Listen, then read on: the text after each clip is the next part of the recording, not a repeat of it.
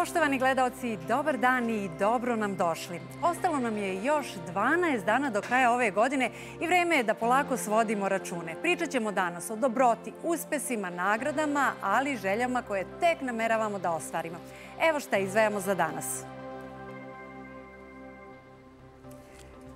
Za našu gošću kažu da gde god ode ponese i neku nagradu. O predstavama i omiljenim ulogama razgovaramo sa Tamarom Kracunović.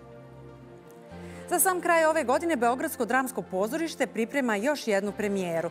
Ivana Nikolić predstavom Švejk slavi kraj godine i čak 13 godina rada u prestižnom Beogradskom pozorištu. I ona je danas sa nama. Od osnivanja 1950. godine do danas zaštitni znak pozorišta Boško Buha je bajka, ispričana na klasičan ili modern način. Glumci Natalija Stepanović i Đorđe Kadijević igraju ovih dana svoju i našu bajku. Dokaz da svi možemo naći vreme za humanost jeste jedan izvanredan čovek po obrazovanju pravnika, po srcu humanista. Višogodišnji aktivista Nurdora Gordan Crnojević je danas s razlogom sa nama. Znate li koje je specijalitete iz Srbije na čuvenom gastronomskom sajtu proglašen za najbolji doručak na svetu u 2023. U studiju jednog dobrog dana danas je i mladi čovek koji se u istoriji kartinga upisao kao prvi svetski šampion Andrej Petrović. A poštovani gledaoci, danas je i slava Sveti Nikola. Svima koji slave ovu slavu želimo srećnu slavu. Sigurno ste čuli da se za današnji dan kaže da polovina u Srbiji slavi, a druga polovina ide u goste. Evo priča o današnjem prazniku. Srpska pravoslavna crkva danas slavi svetog Nikolu Čudotvorca, jednog od najvećih hrišćanskih svetitelja, zaštitnika putnika, moreplovaca, ribara i splavara. Sveti Nikola je rođen u gradu Patara u oblasti Likija u Maloj Aziji od roditelja Teofana i None u vreme rimskog cara Valerijana. Još kao dete Nikola je pokazivao neobične duševne darove – Kada je odrastao i izučio škole, želeo je da stupi u sveštenički čin, pa ga je njegov stric, arhijepiskop, imenovao za sveštenika grada Mira. Svoj duhovni život počeo je u manastiru Novi Sion, gde se i zamonašio. Posle smrti roditelja svu nasleđenu imovinu razdelio je siromašnima. Prema predanju, vođen čudesnim glasom, krenuo je u narod da širi veru, pravdu i milosrđe i već je svojom pojavom donosio utehu, mir i dobru volju. Sveti Nikola je žive u četvrtom veku, a njegovo žitije je jedno od prvih prevedenih sa grčkog jezika. U širenju hrišćanstva, Srbi su upravo na primerima iz života Svetog Nikole učili o smislu i vrlinama ove religije, pa su ga vremenom prihvatili za svog zaštitnika. Mnogo poštovan u srpskom pravoslavlju, Sveti Nikola je bio zaštitnik srpskih kraljeva i vladara. Prema predanju, smatra se da je Sveti Nikola povratio vid Stefanu Dečanskom – a kralj Milutin oko svečevog groba je napravio i kapelu izlivenu od mešavine srebra i zlata. I knez Miloš Obrenović je slavio svetog Nikolu po svim narodnim običajima, a dok je dizao slavu, pucali su topovi i zvonila crkvena zvona. Etnolozi su mišljenja da je ova slava jedna od najrasprostranjenijih, jer je stara Srbija bila zemlja seljaka, u kojoj najveći deo stanovništva preko cele godine radio u polju zima je bila jedini period kada je bilo vremena za predah, a pada i u vreme božićnog posta, pa je takvu slavu uvek moguće spremiti. Sveti Nikola, arhijepiskop Mirlikijski, slavi se u celom hrišćanskom svetu. Njemu su posvećeni brojni hramovi u Rusiji, Grčkoj i Bugarskoj, a velika pažnja mu se pridaje i u Britaniji, Italiji, Nemačkoj Španiji, a zaštitnik je i grada Amsterdama u Holandiji. U narodu se veruje da Sveti Nikola noć u oči praznika obilazi dobru decu i deli poklone. I danas mnogi mališani čiste svoje cipele i stavljaju ih na prozore, očekujući dar od sveca. Sa nama i danas je jedan dobar bend i naša Jelena Pajić. Jeste dobro raspoloženi za danas, Jelena? Naravno, kao i uvek. Hoćete na slavu nakon emisije? Ne, ja ne, ne znam za ostalo. Dobro, ta slavska atmosfera je Ali sada danas... Da. Tako je, tako je. A našu gošću uh, gledali ste u mnogim serijama i filmovima, a znam da je posebno volite u predstavama za koje se uvek traži karta više. Za nama danas je Tamara Krcunović. Tamara, izvoli. Tamara,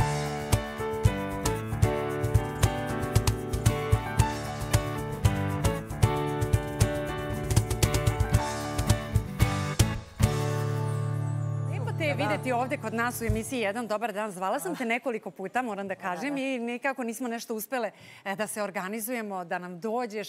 Zauzeta si, mnogo radiš. Pa da, radim kao i svi. 17 poslova odjednom i tako da. Pa da, ti si poznata ne samo kao, da, kao glumica, nego i da organizuješ predstave, da stvaraš predstave.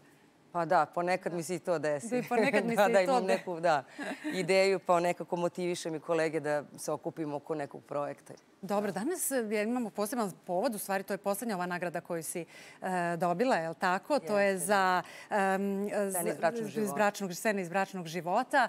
E, kakvi su e, utisci reči o fest, Međunarodnom e, festivalu male scene i monodrame? Jeste.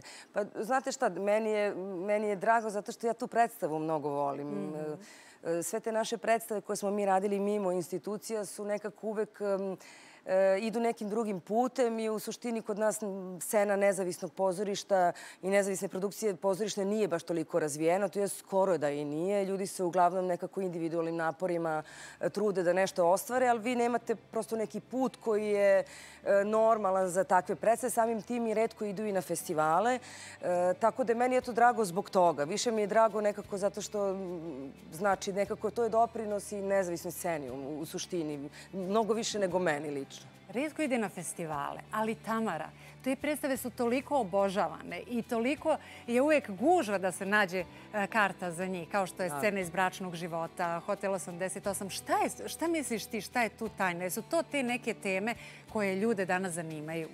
Pa, tajna, nema, nema, nema tajne. tajne. tajne. Pa ne, znate, kao u svakom poslu. Mislim, ako nešto funkcioniše, ako su ljudi radili na tome, ako je to u suštini kako treba mm -hmm. i ako publika znači dolazi zato što se to njima dopada i zato što misle da je to dobro. Ja, Šta kažu, koliko se prepoznaju u svemu tome? Pa prepoznaju se, mislim, prepoznaju se u svim predstavama.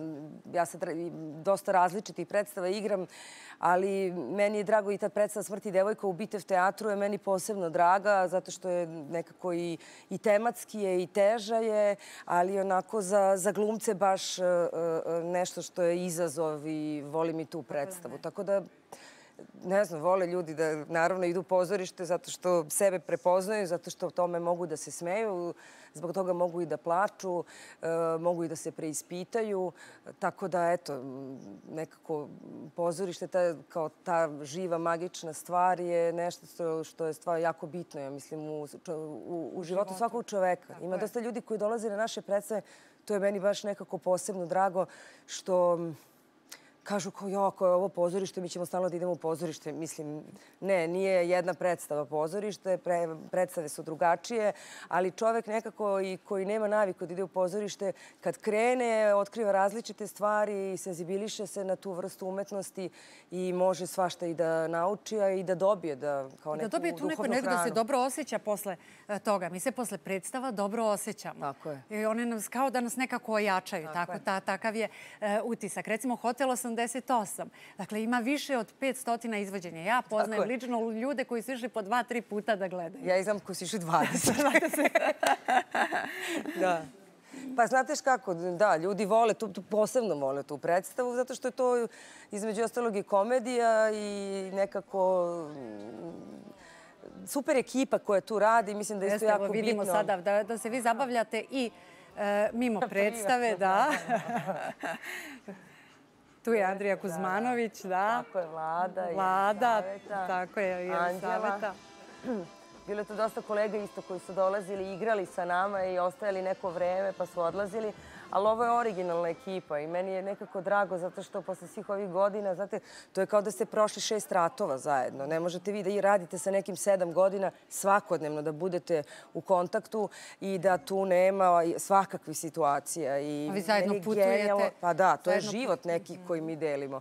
I eto, posle svih tih godina toliko, eto, mi smo uspeli ipak da na kraju, mislim, na kraju, u stvari, mi se šalimo, ali ja mislim da ova predstava će živeti još mnogo, mnogo dugo. Mnogo, da. Tako je. I ali recimo kad idete na ta putovanja, um, imate neke, sigurna sam, neke događaje, dogodošle, nešto što bi mogla da nam izvojiš, da nam ispričaš, kako to izgleda. Ja verujem da je to uvek jako uzbudljivo. I, i, da je vr, veoma uzbudljiva su ta da. putovanja. Sigurna sam i ti neki susreti sa publikom i sa ljudima van Beograda. Tako je. Pa dobro, ljudi su uvek uh, srećni nekako kad vide glumce, kad vide pevače i glumce i, ne znam, i muzičare i ne znam, kad filharmonija naša putuje. Uh, sve jedno, uh, kada izađete, kada odete iz zemlje, naravno da vam je drago da na, najveći kontakt i najbliži kontakt imate sa umetnošću koja dolazi s vaših prostora. Tako, Tako da oni jesu nekako vezani i detinstvom, nekim povezani su i detinstvom sa nama i nekim uspomenom, tako da im je drago da nas vide. A sad dogodovština ima, mislim, sad kao da, milion. Hoćeš, milion, ne, ne mogu do sada. Treba mi još jedna emisija da ispričam, jel da? Bukvalno, da. Da, a također još jedna predstava, predstava Laž. Tako je, Evo da. ja recimo ne mogu nikako da dođem do karte. Ako imaš neki... neki... Ja ne mogu. Ako možeš nekako da mi pomogneš, bila bih ti zahvalna. Pa da, pa mislim, ta, samo treba baš, baš na vreme da se, mm -hmm. da se zakaže. Sad su oni zakazali, ja imam, datumi su izašli do kraja decembra sledeće godine. Tako da, e, to što pre da se sada uzima, zato što prošli put kad smo igrali, na primjer, u aprilu, ceo april, ja nisam ni jednu kartu na, na kraju. Jer smo mi radili predstavu, spremali se i nismo razmišljali u tome da će to tako da nestane. I pred premijeru smo shvatili da nema jedne jedine fizičke karte. Mi nismo uh, porodicama, novinarima, nikom nismo mogli da, niti možeš da uvedeš nekog jer zbog vatrogasnog tog puta, bezbednosti vatrogasne, ti moraš da imaš te o, prolaze koji su slobodni, tako da to je to. Ti si, ti si najpre glumica, ali radiš dosta posla mimo toga. E, koliko te to negde, da kažemo, može, možemo li da kažemo da si preduzetnica? Da, pa ja jesam da, u suštini preduzetnica, da. Da. Koja nemam baš mnogo povlastica, Aha. ali ovo nije ta emisija. da pričamo o preduzetničkom da. duhu. Pa ali da, dobro, to motiviše ljude da nešto... nažalost. Mislim, Da. ja, ja sam preduzetnica u, u suštini, nažalost, zato što e, za umetnike ne postoji ni jedan vid drugačiji poslovanja. Vi možete biti ili zaposleni u pozorištu, Mhm. ili da budete slobodni umetnici, a kao slobodni umetnici to je isto jako ovaj, Pa zahteva mnogo energije, rada Ma i nije to, nego, ne pričam ja o, to, o poslu, više pričam o tim uh, pravnim stvarima, stvarima koje koje je nisu dobro potrebno rešene. Da. Rešiti, da. E, radnička klasa ide u pakao. E, film koji je Jeste. bio u Torontu na festivalu. E, prije toga sam se ja e, videla, razgovarala sam sa akterima e, tog filma, pa smo iščekivali kako će to da bude e, u Torontu. Evo sada ti možeš da nam kažeš kako je bilo i taj, taj film će se pojaviti i na Da, bit će na festu. Tako je. Da, sada krajem februara, još uvijek ne znam datum, ali kad bude bio fest, eto, u toku festa će biti. Bilo je divno u Torontu. E, Bilo je divno zato što mm, meni je to bio nije bio prvi put, ali e, e, pogledala sam film sa publikom u stvari prvi put i onda mi je bilo jako uzbudljivo jer sam otkrila u stvari na koji način nešto na čemu sam ja dugo radila, na koji način percipira publika e, sve to. I oni su ljudi vrištali od smeha, smejali se, aplaudirali. Meni je bilo genijalno što u nečemu što je neka ipak socijalna drama koja ima elemente i horora i trilera je ispliva u stvari taj crni humor i ta crna komedija što je super jer e, nekako je bitno da i na taj način gledamo na sve stvari koje nisu baš smešne. Da, i Dobro taj da naziv radnička klasa ne ide u raj, nego u Nego u pakao. pakao, da, da, da. Zabavan je film, baš mislim da je Mladen uradio baš lep film. Lep film, jedva čekamo da gledamo. E, Tamara, voliš li ove novogodišnje praznike? Obožavam. Obožavaš, je li Tako ideš, da. voliš da kupuješ poklone, da šetkaš, da, Da. ideš e, Jo, ja to sve radim već, već tri nedelje sam u tome. U Meni tom sad- novogodišnjem da, raspoloženju. Da, ove godine Počela sam... si na vreme da ne čekaš gužve. Tako je, da. Fokusirana sam sad na bratanca i onda njemu već tri nedelje tražim poklone i em, naručujem svašta nešto. Mama mu je sad naručila neke sitnice. Mislim, tako da, eto, zabavljamo se time. Uvek pravim i e, e, svašta nešto za, za jelo, onda kao tražim recepte i to mi je zabavno. Kupila sam neku činiju, sad neki pekač sam kupila sebi pre par dana za novu godinu i tako. Divno. E, Hvala ti mnogo što si došla Hvala danas. vama. Podelila sa nama za kraj godine sve te neke lepe stvari, sve to lepo što radiš zajedno sa svojim kolegama i mi te čekamo već u novoj godini. Pretpostavljam sa Hvala. nekim možda novim projektima. Nadam se, da. Mnogo uspjeha. Hvala vam. A, poštovani gledalci, došli smo polako u drugu polovinu decembra i praznici nam stižu. A na jedno zanimljivo mesto, posebno za decu, ali i za roditelje, vodi nas naša Aleksandra Todorović. Jelena, nalazimo se na novogodišnjem vašaru na sajmu i ovde je, kao što vidiš, zabavno, ludo. Biće i nezaboravno, zato što ja nisam odavno bila na nek u nekom Luna parku poput ovoga. Čak i pomalo neprijatno. Moj sagovornik je Danica Kratovac, ona je sa Beogradskog sajma. Danice, šta sve posetioci mogu ovde da vide, da probaju? Dobar dan vama, dobar dan svim gledalcima i dobrodošli u najveći zatvoreni zabavni park na Balkanu na Beogradskom sajmu u Hali 1 koji će biti otvoren za sve posetioce do 30. decembra. E, imate priliku da uživate u više od 27 različitih zabavnih objekata. E, tu su vrteške, kamikaza, Enterprise, ringišpili, zatim igraonica, kuća strave, kao i zabavni objekti za naše najmlađe posetioce. Ovaj novogodišnji vašar na sajmu ima dugu tradiciju. Koliko je to i da, šta se promenilo u odnosu na prošlost? Da li ti stari posetioci i dalje dolaze sada dovode svoje unuke? Novogodišnji vašar ima zaista dugu tradiciju, ovo je 61. godina kako se održava i naravno da se tokom svih ovih godina novogodišnji vašar menjao, ali ono što zaista ostaje isto kroz sve ove godine e, to je upravo ta novogodišnja atmosfera i taj e, praznični duh koji vi osetite kada uđete u Halo 1. Jel ti je malo raste adrenalin sad, jel da? E, koje je radno vreme novogodišnjeg vašara i kako, kako funkcioniše ulaz?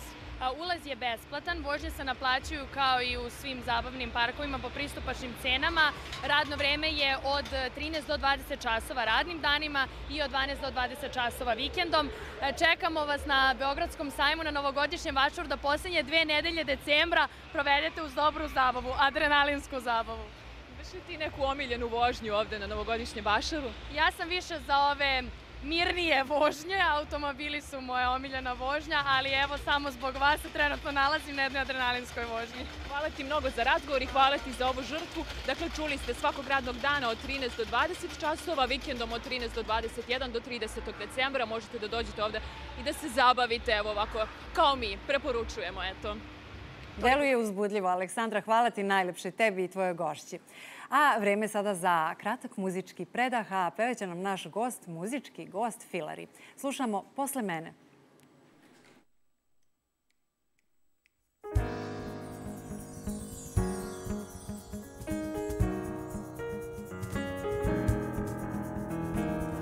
Noći pune magije, dođi kad se gasi sve, bar da dočekamo zoru.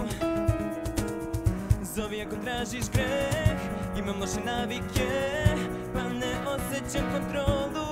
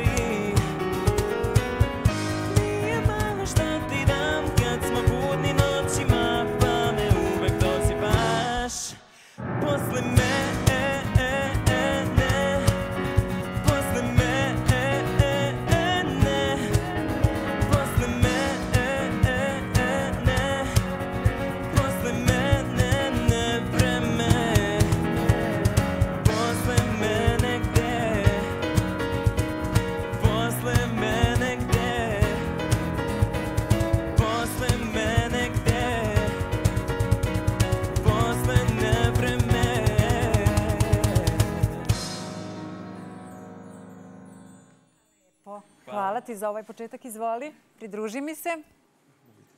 Dobrodošao. Preuzmite mikrofon, molim vas.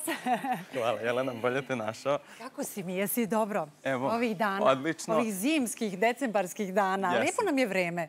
Lepo Lepo je je. vreme, da, rekli bi kao neko prolećno vreme, Proleće, uopšte da. ne deluje da, kao, kao da. je zima. Eto, ja sam skoro bio na, na jednoj uh, planini, snimao sam uh, spotove za svoje nove pesme, tako da ni tamo nije, nije nešto drugačije. I kako je bilo na tom snimanju? Za, jel za ovu pesmu posle E, mene? Nije, nije, Za posle mene, sa posle mene smo završili, Završili, odavno, da. da. Ovo su neke nove pesme. Na, e, recimo, ajde, jedan mali albumčić koji ja Da planiram da, nešto, da, da. da, da objavim početkom godine. Na, I na tim pesmama sam pretežno ja autor. Imam Sajsi sa kojim sam bio kod e, vas prošle, Jeste, prošlog je. puta. koja je Divno tu sarađujete, sve divno pratimo. sarađujemo, divno se družimo kao autor teksta. Tako da, eto, ima dosta stvarno noviteta od sledeće I godine. kako će izgledati ti spotovi? Hoćeš da, šta radiš tamo? Neću, ovo će biti, ajde da kažemo, najsmireniji i naj...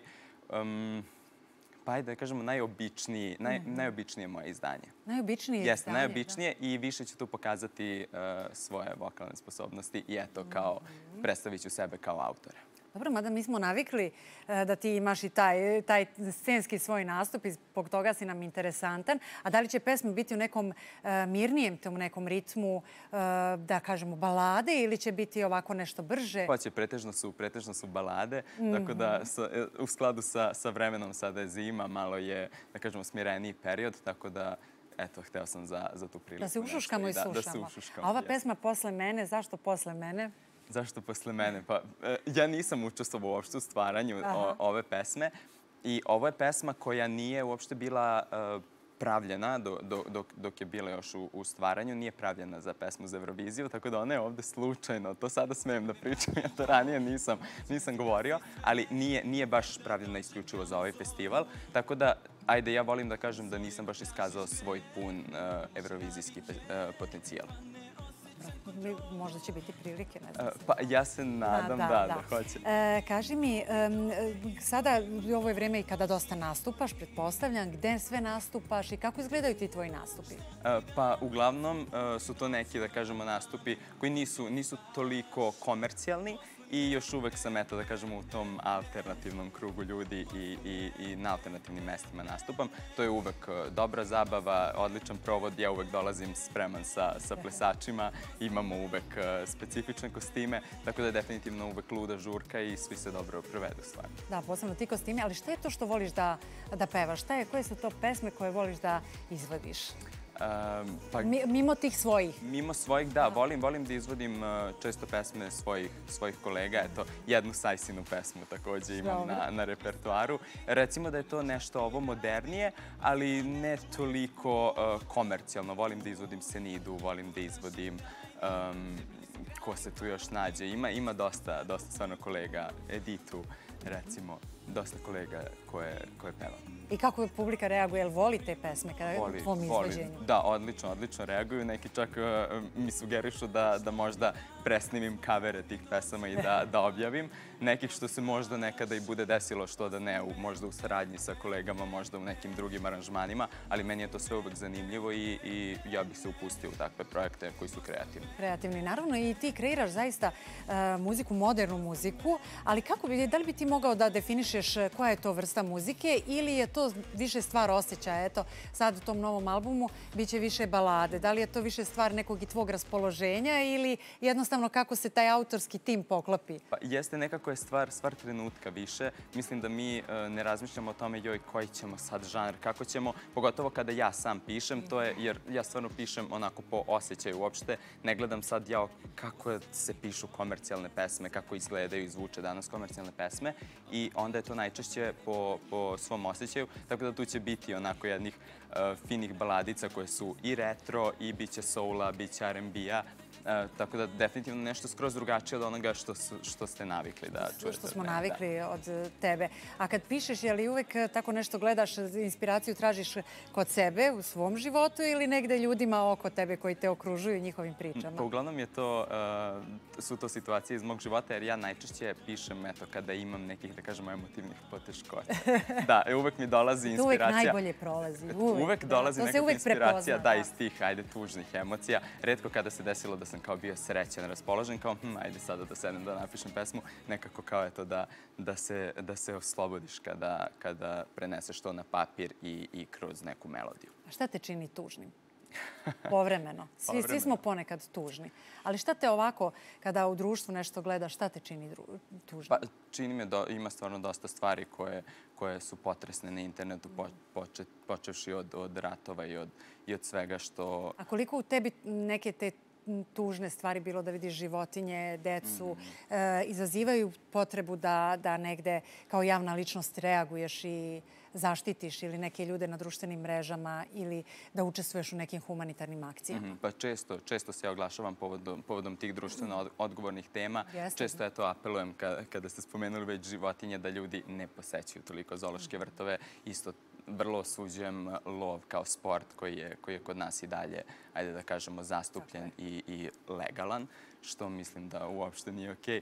Tako da, eto, te neke stvari stvarno, stvarno umeju da utiču na, na moje emotivno stanje. Tako je, svi volimo životinje i apelujemo često na ljude sada za vreme ovih novogodišnjih praznika da vode e, računa o tim raznim vatrometima i Tako je. I, I baš je lepo video sam na internetu ovih dana da je dosta gradova uh, ukinulo vatromet, da, za, za vreme novogodišnje noći i da će taj novac biti preusmeren na, na humanitarne svrhe za životinje. Da. Što je stvarno prelepo. Kaži mi, kakva ti je bila ova uh, godina? 2023. Kako bi, šta bi rekao? Joj, bila je vrlo onako burna, bila je dosta, bilo je dosta rada.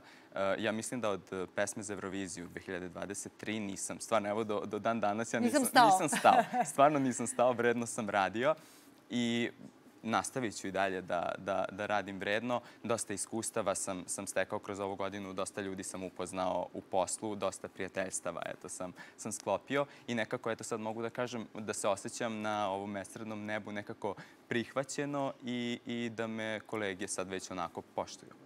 E, Kada podvučeš crtu, jel možeš da kažeš pa bila je ovo za mene jedna poslovno uspešna godina? Definitivno, definitivno mogu kada se sada stavi na papir ja od sa početka svoje karijere od prošle godine i ja sada stvarno imam baš, baš, baš dosta stvari koje smo uradili. Iako se nekada u, u trenutku kada razmišljam ja o tome, e, dok ne stavim na papir ili dok ne porazgovaram sa nekim, uvek se čini kao da nije dovoljno, uvek se čini kao da mora još, što eto, je, to je neko prokletstvo ovog posla. Stalno morate da se dokazujete, stalno morate da budete Tako je u inovativni. životu generalno. I u životu generalno, tako Jeste, je. moramo stalno nešto da se trudimo, nešto iznova da počinjemo, da radimo, da nikad nismo zadovoljni tom listom, da li smo sve dovoljno uradili, ali možda je i to neko sada vreme i da budemo zahvalni za neke stvari koje ipak nam je život i doneo. E, Šta sada slušamo? Sada slušamo uh, Pogledi u tami od Serkeja Četkovića i eto ja bih za kraj To je želeo... prava jedna jeste, balada, Jeste da. da svim gledalcima uh, poželim srećnu slavu, pošto danas Sveti Nikola, da proslave lepo u, u krugu porodice i svojih bliskih eto, prijatelja. Hvala ti najlepše, divan si. Očekujem te ponovo u novoj godini. Pozdravi Sajsi i hvala vama. mnogo još dobrih pesama, spotova i uspeha. Hvala mnogo, eto ja se uvek radujem da dođem kod vas. E, znam, izvoli. Hvala.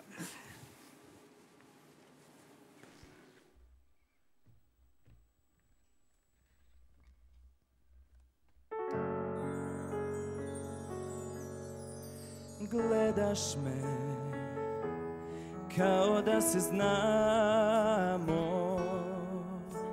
Stranca dva Eto to smo samo. Pričaj mi Gdje si ti bila dok lile su kiše? Nekova noć na tebe miriše Za uvek.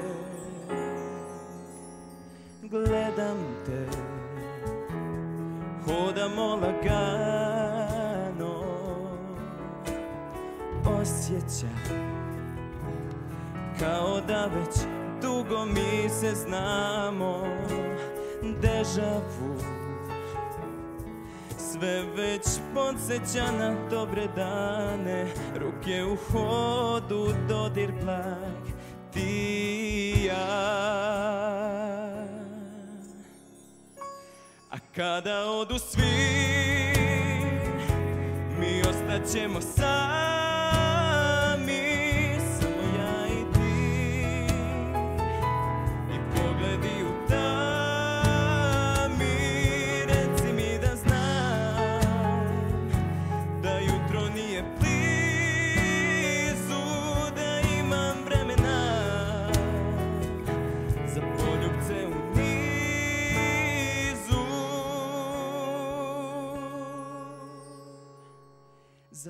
poljubce u nizu.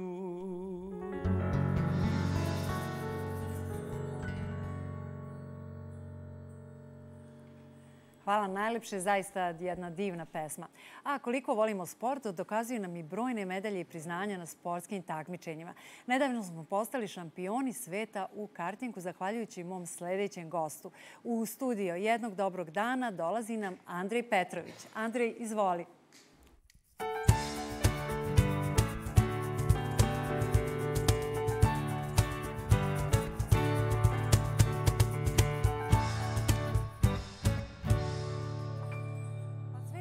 Čestitke Andreji. Hvala puno, hvala. Kakav je osjećaj?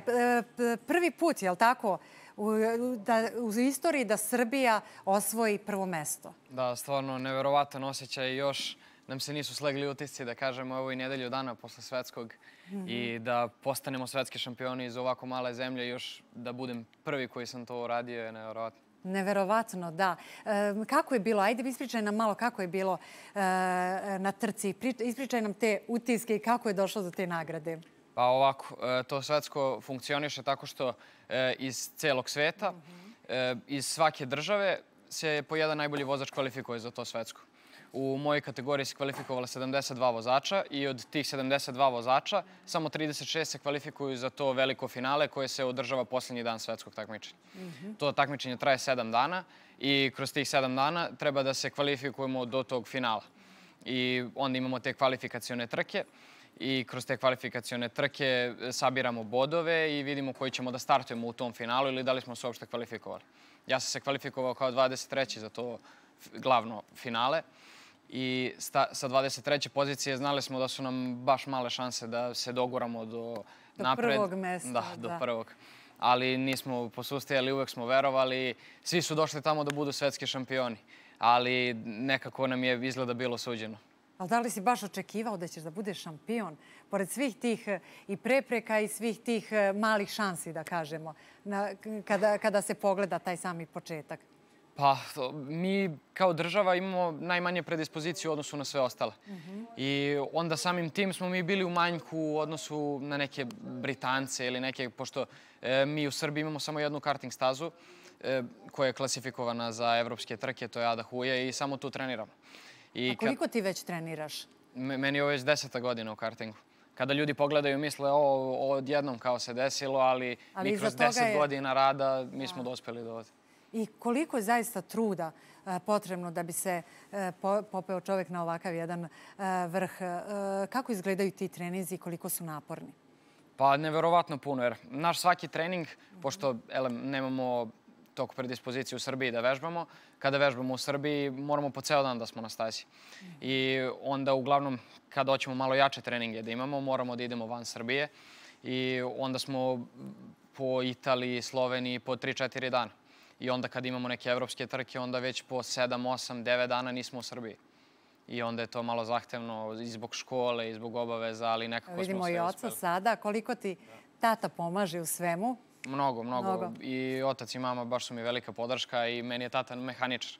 Zato što mm -hmm. u odnosu na te strance, da kažemo, mi nismo u najboljoj baš finansijskoj situaciji i meni je ove godine mnogo pomogla Alta banka stvarno Dobro, na... A bar, e, ti imaš svoj tim ljudi koji rade sa tobom, koji te treniraju, jel tako, sa kojima e, koji te pripremaju za sve i to je za njih sigurno veliki uspeh. Ti si 2018. jel tako, beše u Italiji osvojio drugo mesto. Tako je. E, to je bio italijanski šampionat i to mi je bio jedan od većih uspeha.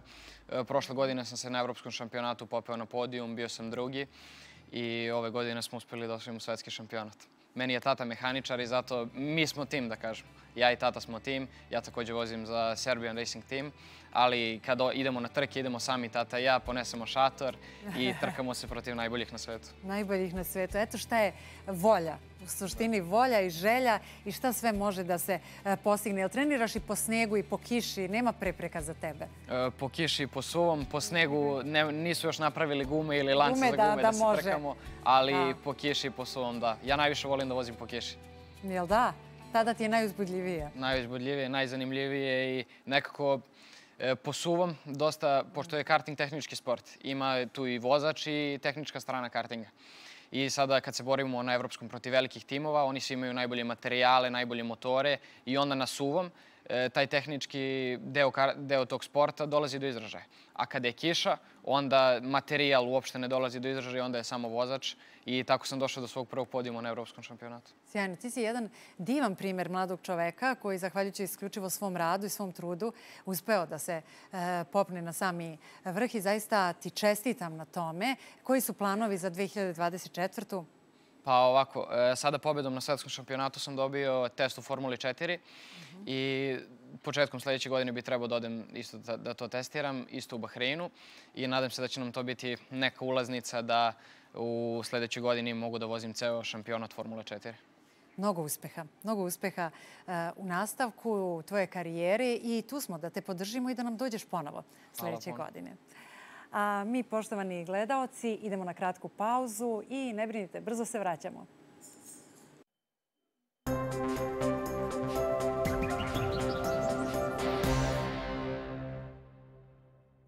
Poštovani gledalci, vraćamo se nazad, gledate emisiju Jedan dobar dan. U ovo predpraznično vreme svi želimo da nam kuća izgleda što lepše i svečanije, a opet želimo da odiše i duhom nas koji u njoj živimo. A kako vam zvuči ideja da neke ukrase napravite sami, da ih ne kupujete, da to nije teško, pokazat će nam moja sledeća gošća Milana Grbić. Milana, izvolite.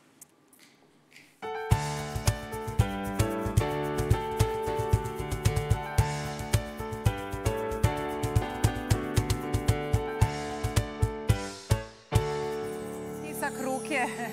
To je odraz karaktera, Poslu. kažu, je li tako? Tako je. Tako je. Milana, evo sada su ovo e, pra, praznici, vreme e, da okitimo našu kuću, da je lepo sredimo, uredimo. Ali kako mi možemo neke stvari da uradimo sami, da ne moramo da recimo idemo da sve kupimo, da čekamo u redovima, znamo kakve su gužve? Tako je. Ja bih danas posavetovala sve da sami probaju da naprave, zato što sve ovo što sada imamo, imamo svi kod kuće, svi imamo neke korpice koje nam više ne trebaju, svuda mogu da se skupljaju šišarke. Tako je. Ovu korpicu svi imamo. Jel, ako nemate u svom dvorištu, ima komšija. ovaj, tako da, jedino, evo da kažem, ukrasi su nešto što je gotovo, što nije ručno pravljeno, sveće takođe može da se napravi dekoracija za novu godinu bez, bez nekog velikog troška. Ajmo da krenemo onda da vidimo šta ćemo danas, kako ćemo sada da napravimo ovako nešto lepo. Ovako nešto mm -hmm. lepo se pravi da jako, jako brzo. Znači, treba da imate korpicu, tako kako ja pravim jedan sunđer, jedan u koji ćete... Da tako je. Evo ga, sunđerčić je tu. Dobro. U koji sve to zabadamo. Mm -hmm. Evo ovako. Znači, krenete prosto, pravi se krug. Hoćete da vam pomognem? Može, naravno. Da idemo brže, da. dobro. Ovako, idemo u krug, pa Tako dobro. je. Lepo to ide. Malo zelenila. Evo malo sa ove strane. Da, zelenilo nam uvek da tu neku posebnu boju. Da. I posebnu čar. Kom? Da. Još možemo da ga pospijemo gore nekim snegom. Kao. Tako je, to nisam ponovno da. danas, ali ovaj, može, može, može u svakom slučaju, u zavisnosti ko šta voli i šljokice A Milena, sećate se kad smo bili mali, svi smo sve to pravili. Nije, Tako je. Nije se kupovalo, nije nego smo kupovalo. pravili ukrase, stavljali smo dečije crteže. Evo viš kako vam dobro ide. Jo, jeste. Eto. Da, baš lepo. Prosto. Da. Prosto. Dakle, e, nije potrebno nešto ni novca, ni da se ne. nešto angažujete. Znači, Imamo ja tu jedno sigurna, prazno mesto. Ja sam sigurna da ovo svi imaju kod kuće danas i da mogu već danas da naprave, znači bez nekog velikog troška. Mm -hmm. Tako da, Vi možete no. uzmete neke stare ukrase koje već Evo ovako, koji je sledeći Dobro. korak, ovako ćemo. Mm -hmm. Ja sam donela sveću ovako da se ne ošteti. Dobro. Crvenu. Na radost. Crvena na radost, na radost kao moja haljina, dobro. Evo da vidimo da li je na sredini. -hmm. Evo ga. Evo vi možete malo još da Dobro, lepo, dobro. Tako je. Sledeće, znači stavljamo krupne ukrase, takođe krupne ukrase, se bodu. to mogu oni od prošle godine, što imate sigurno kod Tako kuće. Je. Koji više nema vezice. Tako je. Može da se zabode. -hmm. Zatim idu sitniji. -hmm. Ovako druge boje. Dobro. Ovako. Mm -hmm. Dobro, lepo, lepo. I sada ćemo da ređamo tu šta? Šišarke? Šišarke idu okolo. Šišarke, Znači, da. šišarke su- Koje možete da nađete Tako svuda i u komšiluku i to. Meni se posebno sviđa ovaj, ova snežna Jabuka. jabuka. Da. Tako je. Šišarke sam ja danas malo naprskala sa zlatnom, ili je li da bude svečano, ajde za emisiju. Ovaj, ali u principu izgleda, da. tako se popunjavaju te neke šupljine u koje ukrasi više nestanu. Mhm. Imamo i ovde ovaj sjaj neki, mašnica koja će Tako negde je. da ide. Gde ćemo nju da stavimo?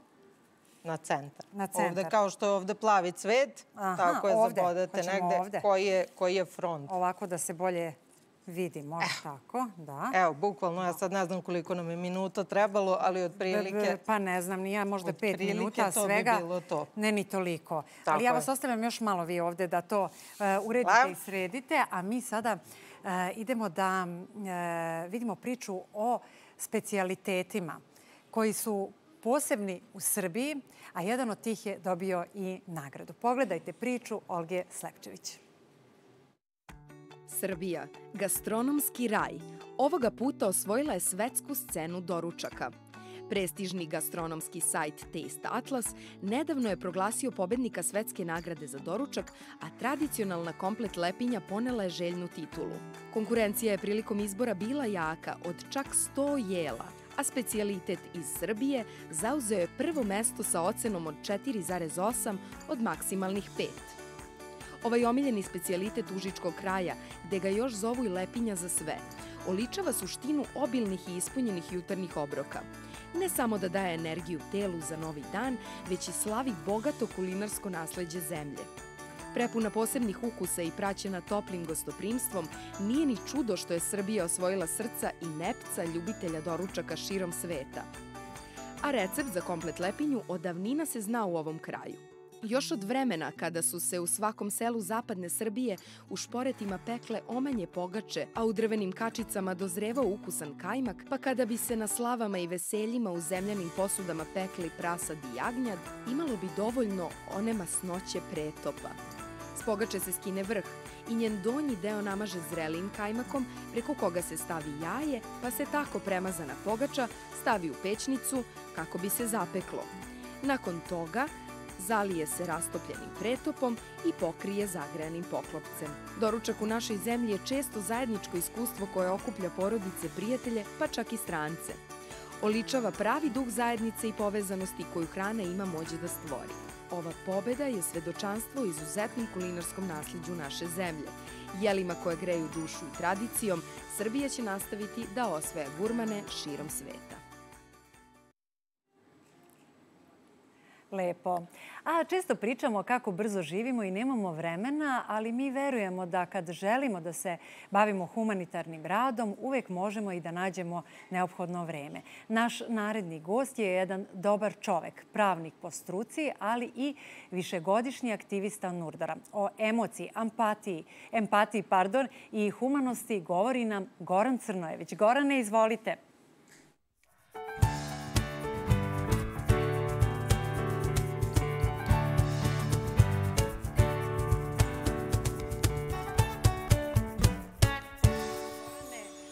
Izvolite.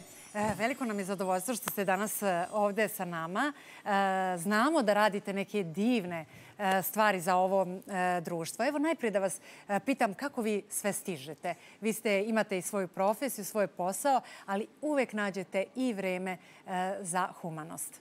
Tako je, kao što ste rekli, moja profesija, ja sam diplomirani pravnik, ali pored toga trudim se da u svakoj prilici, kad god mi to vreme dozvoljava, uspem, e, pokušam da nekako doprinesem za zajednicu i društvo. Da, volonterskim radom uglavnom, to sam krenuo pre nekih 12 godina i eto, sad smo Šta je vas stigli. tada motivisalo pre 12 godina? Kako ste počeli? Hajde čisto da ispričamo tu neku vašu priču da prosto verovatno svako od nas ima to u sebi, samo što eto možda ne obraća dovoljno e, pažnje. Da, pa baš tako kako ste rekli. E, tada, kad sam počinjao, krenuo sam tako što sam diplomirao na fakultetu i samim tim posle učenja imao i viška vremena. Tada sam se zaposlio kao sudijski pripravnik u osnovnom sudu u Novom Sadu i imao sam viška vremena gde popodne nisam imao obaveza i poželeo sam pored svoje profesije i svog posla da ovaj, jednostavno na neki način doprinesem gde mogu. E, bila je jedna kampanja u medijima gde sam pokušao da kontaktiram i da, da pristupim organizaciji. Nisam uspeo, samo su se skupljala sredstva. Ovaj, I nastavio sam dalje da tražim negde gde bi mi odgovarao. Naišao sam na udruženje Nurdor, nacionalno udruženje roditelja deca obolele od raka.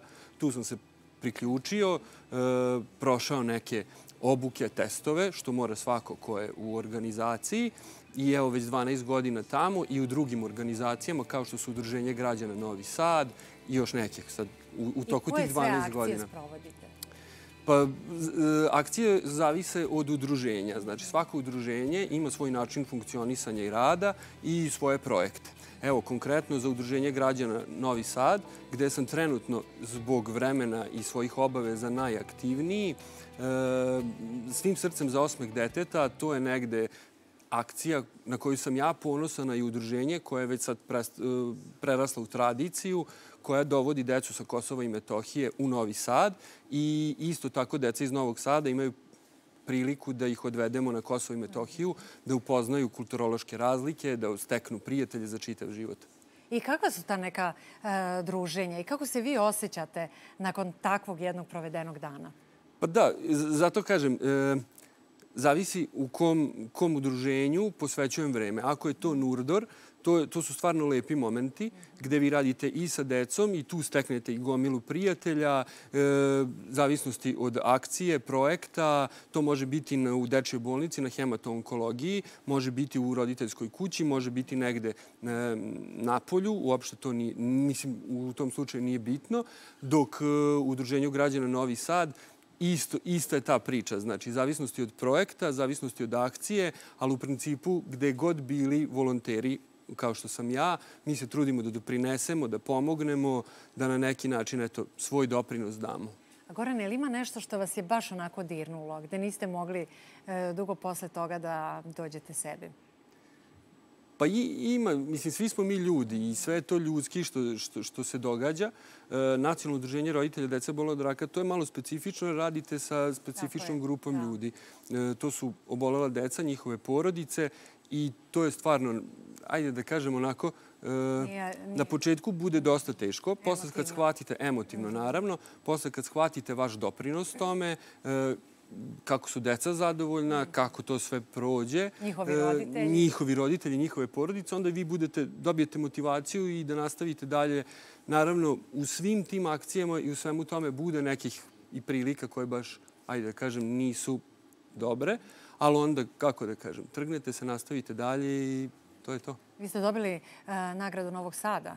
Tako je, novembarsku povelju grada Novog Sada, da. I vi ste poklonili Jel tako? E, ne, novembarsku povelju sam dobio, a uz a, novembarsku no... povelju grada Novog Sada išla su i novčana, sredstva. sredstva koja novčana ste... sredstva koja sam, poklonili. eto, smatrao sam da je to humanitarno došlo, ne od mog profesionalnog rada i želeo sam da ustupim nekom ko će dalje moći opet nekom da pomogne. Mm. Jedan deo sredstava je otišao u roditeljsku kuću, jedan deo sredstava je otišao našem poznatom, ovim putem ga pozdravljam, Miletu Stolaru. Da, za, ovaj, da, da, da, da, da može deci da pravi stolice hranili ulice, što oni čini vrlo uspešno i znate ga, tako da je. Tako je, sjajno. A što... Mislim, sad smo prijatelji, moram to da naglasim. Evo, sad sprema slavu, ne danas, nego u januaru, pa već je zvao i tako, eto, jedno, jedno lepo prijateljstvo. I sada se družite i na taj način, da, u stvari, da, da. E, uspostavljate i lepe tako kontakte je. sa ljudima i znate kako se ono kaže, sličan se sličnom Pa dobro, da, tako je, tako, tako je. A šta mislite, e, Gorane, koliko je e, društvo danas spremno na humanost, na ta neka dela, na izdvajanje vremena?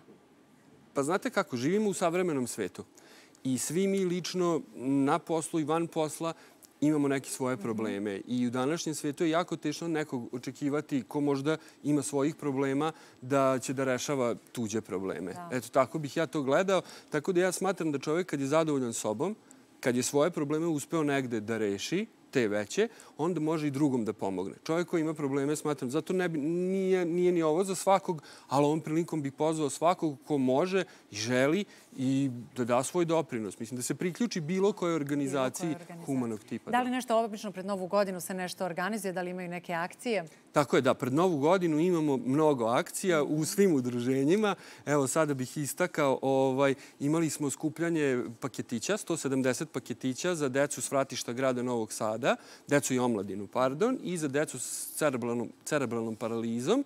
E, to sad završili smo uspešno. Ide kićenje jelke gde će de, deca imati priliku da svojim, ovaj, svoje ručno naprave i ostave poruku za Deda Mraza na jelki i tako dalje. Januar je puna akcija. U januaru nam dolazi poseta dece sa Kosova i Metohije, jubilarna, pa eto, uvek je neka akcija, uvek ima nešto, da. Uvek je nešto. I kako, kako to izgleda? Kako to, e, to, to izgleda posebno kada su ti e, novogodišnji e, praznici u pitanju, kada donosite poklone, kada je ta euforija? Kako da, reaguju da, deca? Da, ovaj, to, to je prelepo. Kad dođete, na primjer, u svratište, to je svratište grada Novog Sada za decu i omladinu, gde deca imaju dnevni boravak, koji jasno vam je nemaju krov nad glavom, mi kad dođemo, donesemo paketiće, to, to stvarno nisu oduševljeni. Znači, što su igračke, što slatkiši, nemaju puno prilike tokom godine da se raduju i to je stvarno jedan lep događaj, dok opet isto tako kad odnesemo e, za neku drugu grupu dece paketiće, to je stvarno isto. Jer mi pokrivamo e, aj kažem, grupe koje nemaju tokom godine i ovo je idealna prilika sad za novogodišnje praznike da ih obradujemo. Da. E, mnogo vam hvala. Hvala vama. I hvala vam što činite dobre stvari, dobra dela i što pomažete e, drugima. Jel mogu samo da iskoristim priliku? E, srećna slava Sveti Nikola svima koji slave i da slave u zdravlju i veselju. Hvala vam najlepše. A mi sada idemo do naše Milane. Ona nam daje neke ideje kako sami da napravimo ove novogodišnje ukrase. Milane, je li to to? To je to. To smo uspeli. Ovde vam je ostalo nešto materijala. Ovo isto možemo da, da iskoristimo. To može već i za drugu činiju. Dakle, bilo nam je potrebno koliko? Pet, pet minuta, pet minuta, tako? tako da, je. Tako je.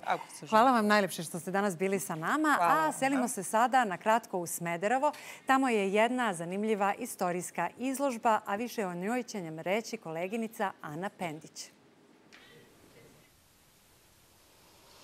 Ovu zanimljivu umetničku istorijsku izložbu posetioci mogu da pogledaju do 10. marta naredne godine, a nešto više o njoj čućemo od muzejske savjetnice doktorke Snežane Cvetković. Dobar dan, hvala vam. Kralj Milan Obrenović na ovo veliko putovanje krenuo je nakon abdikacije u 35. godini života, 17. marta 1889. godine. Na put je krenuo sa svojim adjutantom Mihajlom Rašićem, koji će dve godine po povratku sa putovanja napisati knjigu sa njegovim veličanstvom, kraljem Milanom na istoku. Knjigu je posvetio upravo velikom uh, kralju Milanu, prvom srpskom novovekovnom uh, kralju Hadži. Uh, na osnovu knjige mi smo koncipirali izložbu u nemogućnosti da izložimo e, artefakte sa ovog putovanja, pošto su sačuvani u jako malom broju. Pozvali smo u pomoć i druge medije, pa smo uradili jedan dokumentarni film u režiji Tibora Varge koji e, govori o samom putovanju e, sa kolegom Dejanom Vukelićem koji je koautor izložbe, a zatim smo imali veliku pomoć saradnice Snežane Mić koja je uradila VR animaciju arapskog salona, jednog reprezentativnog prostora u starom dvoru kralja Milana Obrenovića, koji je zapravo bio benefit ovog velikog, nesvakidašnjeg, neobičnog putovanja na koje je srpski kralj Milan Obrenović krenuo krajem 19. veka. Snežana Mić za potrebe izložbe uradila je i repliku Adžami panela koje je Milan Obrenović imao prilike da kupi u Damasku. No da se vratimo na sam početak priče o ovom kraljevskom putovanju. Milan Obrenović na put kreće pre svega sa željom i ciljem da uskrs te godine provede u Jerusalimu na Hristovom grobu i tako je i uradio. Pre Jerusalima zaustavio se u Carigradu, gde je bio jako svečano primljen od strane turskog sultana Abdulhamida II. Kruna putovanja bio je zapravo Hadžiluk, odlazak u svetu zemlju, a nakon toga kralj Hadžija odlazi u Damask. U Damasku na bazaru kupuje te izuzetno lepe polihromne e, drvene obloge koje donosi u Srbiju i njima ukrašava e, arapski salon u starom dvoru u Beogradu. Obzirom da stari dvor ne postoji danas, da su polihromne zidne obloge u Slovačkoj u Bojnicama, e, mi smo se potrudili da na ovoj izložbi spojimo e, baštinu, književnost, umetnost i da prikažemo kako je ovo putovanje imalo odjeka i u srpskoj književnosti. Hvala vam na ovom razgovoru. Nadamo se da će poseta i dalje biti posjećan s obzirom da je već veliki broj video izložbu, da će tako biti i do naredne godine. Mi se tome nadamo. Hvala vam. Studio. Ana, hvala najlepše tebi, tvoje gošće. A za sam kraj godine Beogradsko dramsko pozorište priprema još jednu premijeru. Ivana Nikolić predstavom Švejk slavi kraj e, godine i čak 13 godina rada u prestižnom Beogradskom pozorištu. I ona je danas sa nama. Izvolim.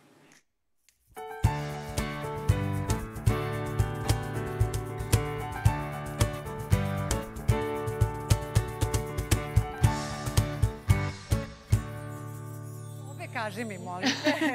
Ili su probe organizovane neki drugi dan? E, probe su svakog dana, mm -hmm. jer sad smo već u ovoj e, finalnoj nekoj fazi pripreme predstave.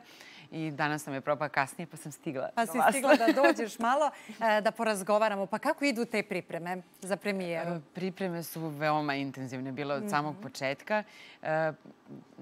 Tako smo, takav put smo izabrali, prosto malo je zahtevnija predstava i tehnički i Uh, mislim da će biti zanimljivo U kom smislu? U kom smislu? U smislu da zahteva kao i predstava demokratija ovaj, Veljka Mićunovića u kojoj igram, uh, zahteva izuzetnu preciznost.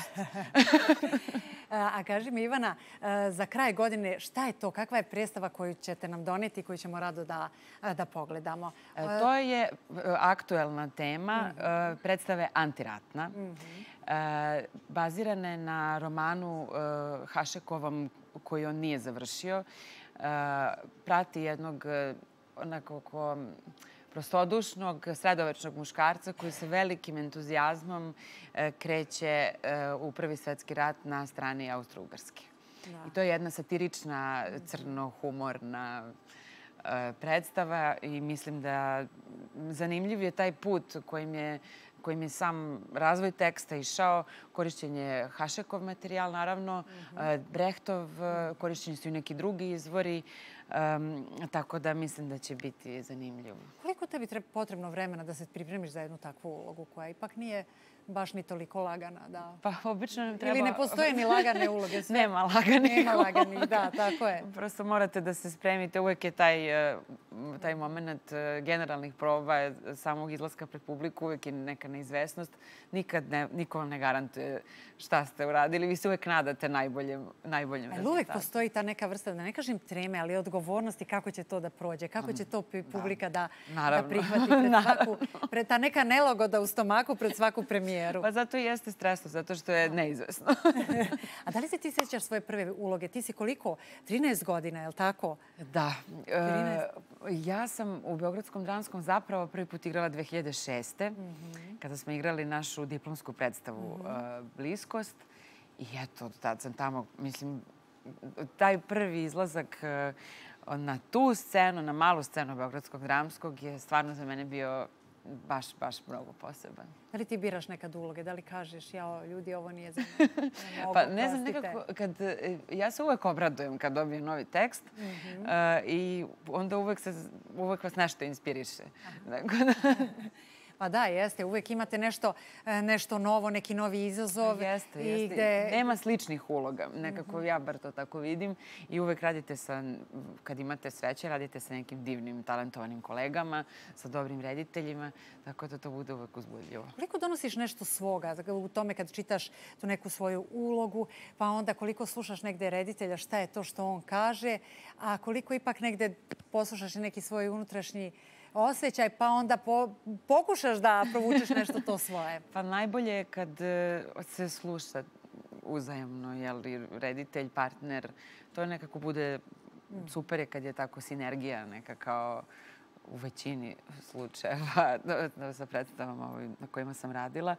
E, tako da nema sad tu, u suštini to je timski rad i sad ne možete ni previše da insistirate na nečemu što se ne uklapa u koncept. Probate pa nekako Pa, ako, slušajte. ako ostali prihvate, onda Ako to je... prosto osetite da li to funkcioniše ili ne. Tako je, tako je, da. Ali improvizacije nema, znači sve, sve je uigrano, sve je...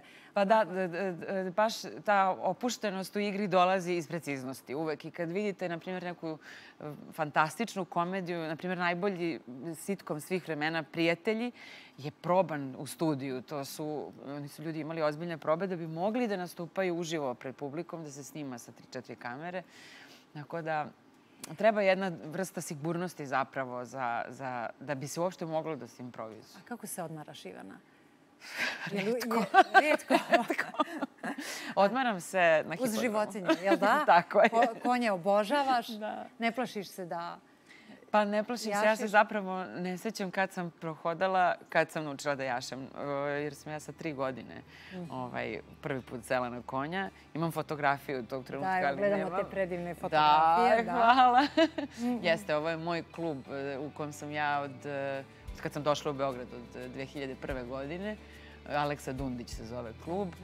I za taj klub sam imala sreće da se takmičim e, pre nego što sam ovaj, postala mama.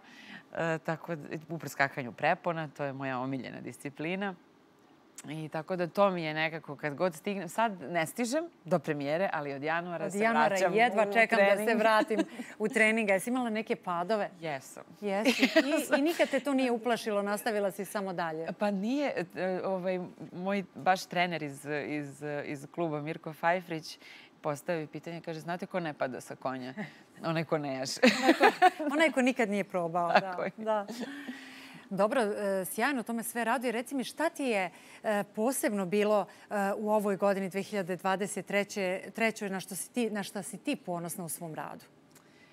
Snimala sam divnu seriju Mhm. V-efekat letos e, i ne znam tačno kada će početi da se emituje, ali u pitanju je thriller i mislim da će biti fenomenalna serija, da će biti veoma uzbudljiva. Eto, to mi je nekako obeležilo leto i ovu godinu um, i eto, neki divni trenuci sa mojim prijateljima, sa porodicom, sa konjima. sa konjima. I da, i interesantno je, sve češće se sada pojavljuju te serije gde je thriller neke, nekako... Nije, Jeste, nije to zapravo- ranije bilo toliko. Zapravo su uh, nekako, nama je taj žanr, čini mi se, Mhm. otvorio, otvorilo skandinavsko tržište. Mhm. Uh, Tu se desila ona serija Most i to je nekako i kod nas u kinematografiji napravilo neku prekretnicu. Voliš li novogodišnje praznike? Pa... Da li kitiš jelku? Da, kitim jelku. Kupuješ Samo ne volim gužve. Ne voliš, ja ne voli niko, da. Mnogo ti hvala. Hvala vama. E, želim ti mnogo e, uspeha u nastavku. Vidimo se Hvala, na dobro nam premijeri. došli, 28. decembra je 28. premijera. decembra na premijeru. Pa se vidimo posle nove godine i družimo se. Vidimo se, hvala.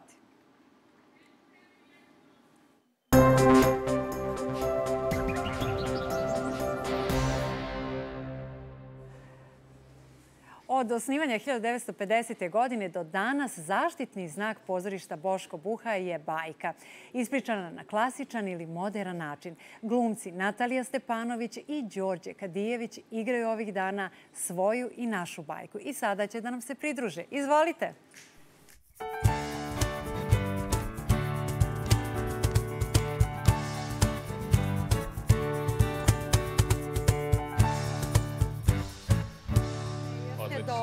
Odlično, hvala Evo na odmah da vas pitam, volite li vi bajke? Kako ne? Kako ne? I obožavamo bajke. I e, koje su, su bajke izabrane za ovu godinu? Pa to je kolaž jedan koji smo Mhm. napravili, to je grupa mladih ljudi koja nikako nije mogla da se dogovori koju će bajku da ovaj, odigra, pa su izabrali tri njima najzanimljivije. To su Mačak u čizmama, Uspavana lepotica i Mala sirena. To su tri bajke i među njima se onako kroz ceo taj proces javljaju i ljubavni odnosi, i spletke, svađice i tako. I Dosta sve ono zanimljivo. što je bi možda moglo da bude i aktuelno i zanimljivo i danas Tako je, deci, tako je. Da. Mhm. A ko se više raduje, deca ili roditelji? Kome je zanimljivije? Pa, deca, uglavnom, Uglavnom, deca, da. da, ja, ja, ja volim da gledam bajke i vrlo se udubim u celu tu priču. Tako da, kao rekli su nam i dete. stariji da zapravo je jako lepo za gled. Mislim, ono, uključeni su svi, tako da mada deca se svakako više raduju. Jer nekako kad dođu, naročito organizovano sa školom, onda su slobodni da reaguju sve vreme i onda uključe se, bukvalno kao da igraju sa nama na sceni. Na Tako sceni. Da, Ali ima i starih koji dolaze više puta. da. tako da- da, Tako A da kakav je vaš neki utisak posle premijere? Div, divan, jednom rečju. Da? Stvarno divan, baš smo nekako, s obzirom na to smo svi mladi u, u, u kolektivu, baš je, baš je bilo uživanje i ni uopšte, iskreno ja sam očekivala da će biti naporno kroz ta igranja, pošto imamo po više termina svakog dana. Međutim, radost igre je toliko prisutna da je stvarno uživanje. A kako Baš- izgledaju te pripreme? Tu nisu samo, samo da glumite, tu su i kostimi, tu je, tu prati... E, tako je, pa ima, cela, cela predstava je, ima i glumački deo, ima i dosta koreografija i songova, i, ovaj, pa su bile te koreografske probe i to nam je nekako pomoglo. Mislim, svi, smo se, svi se znamo sa fakulteta i nekako nam je baš bilo pravi lepo se i da lepa se... u- atmosfera, Tako je, lepa da, atmosfera da. i baš nam je bilo lepo i da se u poslu upoznamo. Jer se mi Mm. privatno znamo, ali sad se, se upoznali i poslovno i baš je nekako lepa energija Pa bila. Boško Buha je sjajno pozorište za afirmaciju i tu su mnogi Da. i Da. počeli, i nastavili, napravili svoje e, karijere. Ali koliko je vama negde zahtevno ipak e, da se igra za decu? To znamo i da i mnogo iskusnijim glumcima e, nije najjednostavnije i najlakše. Čak im je lakše neke druge uloge da odigraju nego da igraju za decu. Pa kod dece nema nekog preteranog učitavanja. Oni ili veruju ili ne veruju. Ili im držite pažnju ili ne. Ako im ne držite pažnju, on više ne gleda, odmah se okreće ka mami, drugaru i ne interesuje ga i onda je tu najveći izazov da ih odmah od početka uhvatite u taj fokus, u koncentraciju i da je sa vama krenu u to putovanje kroz bajke. Da, ali onda kad krenu sa vama, onda je, mislim, nema kraja tom putovanju, Da. bukvalno, onda sve Jel dobacuju ili govore nešto? Kako ne, sve navijaju o, iz sveg srca i glasa. I koliko vama ti, ti, to iz publike kada dobijate tu neku njihovu najiskreniju emociju i najiskreniju energiju, e, koliko vam to negde znači kada ste na sceni? Mnogo. Pa Stvarno mnogo. Baš je ono nekako ti daje motor da, da ideš još nekako, sad još više vere u to. Ali izazovno, izazovno je Jest, kontrolisati to, jer kad krenu, na primjer, da navijaju, mora, mora, mora da, se, da, da se kontroliše sve. Da, to, tako da, da je da. dosta izazovno i zanimljivo. Tako je. Natalija, bila si u Moskvi, je li tako? Jesam, da, sa, sa klasom. Sa, Sa klasom i gde ste, gde ste e, učestvovali? E, učestvovali smo na, e, to je Međunarodni Mhm. univerzitetski festival na Akademiji njihovoj VGIK. Um, učestvovali smo na tom festivalu sa našom ispitnom predstavom iz treće godine uh, San letnje noći Viljama Šekspira. I divno iskustvo, stvarno dobili smo i nagradu za najbolji glumački ansambl. I divno je stvarno vidjeti i, i Moskvu i, i Ruse i nekako e, kako, kako se oni odnose prema kulturi, prema pozorištu. Prema to je bilo da. dosta Mhm. značajno nekako za, za nas mlade. Vi zajedno igrate u ateljeju 212, je li tako? Tako je. Ka, predstava Sonja, Maša i ostali. Vanja, Sonja, Maša Vanja, i Sonja, ostali, Maša tako je na ostali. repertuaru je... Nisam ovaj, još pogledala predstavu, ali sam čula da je, e, da je izuzetna. Izuzetno da. kvalitetna komedija. Da. Jel da? Da, da, da. Mislim, mislim da, da već je nekako publika prihvatila. Mislim da će živeti ovaj, u januaru, tako da dođite. Igramo u Da, januaru. u januaru, nego, nego U šta? januaru Mhm. 27. i 28. Tako januara. je, igramo to. Sada bajke igramo, sledeći termini su 23. i 24. Mhm. decembar. To je sad ovaj vikend. 23. igramo u... 1 i 5, 24. u 11. Da li je tačno da u jednom danu igrate po pet predstava? Tako je, ima dana kada u danu ima dana. Pet, pet predstava. Da. dok ne popadam. dok ne popadate. Ali kako izdržavate? Stvarno potrebne su nekakve pripreme, nešto šta jedete, čim se hranite, kako... Pa kondicija, mladi smo, sve Mladi u letu. ste, da, da, sve u letu, to svi je se ta znamo mladost, i to je ta Da. mladost, da. Recite mi, ili vi volite ove novogodišnje praznike? E, je li žurite kao i svi nešto da stignete, da završite pred kraj godine? Pa ne. Ne baš, više, više nekako ne. Sad, kako je počeo posao i sve, radujem se odmoru. Tako da ne, ne, ne žurim nigde. Iskreno, Nigde. ranije je bila ta euforija i to, sad je nekako samo da malo Ne. potre taj odmor i Da, da se skupi snaga za nove radne pobede. Da. Pa dobro, mladi ste i onda puni tog entuzijazma. Poklone, jel volite da kupujete, da pripremate? Ja Da. obožavam. Da, da, da. Kitite jelku, ste okitili, okitili već. Ja još nisam stigao, ali da, Da, jedna, da. jedna od, od, od stvari, onako na to-do listi. je. Šta volite da slušate tokom decembra? Koju muziku? Uf. Pa, standardno, nemam, nemam neki, neki decembarski repertoar, ali Repertoar, da. Neki Na rock vas and roll. vreme, mladi ste i na vreme vas ne, ne utiče. Da li je decembar. Pa da, januar, da, da. juni, sve je Sve sve da. je sve Da, jedno. da, da. Važno je da, da, je da je lepo i da se družite i da lepo radite. Da, da. Dobro, šta je još u planu? Ćemo još nešto da najavimo?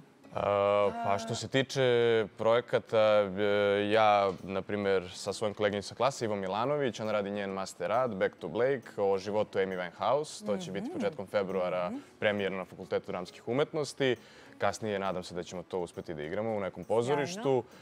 I što se tiče, ima neki par projekata što se tiče filmova, ali trenutno ne možemo da damo nikakve informacije. Informaciju ne Da. morate, ne morate. Milena?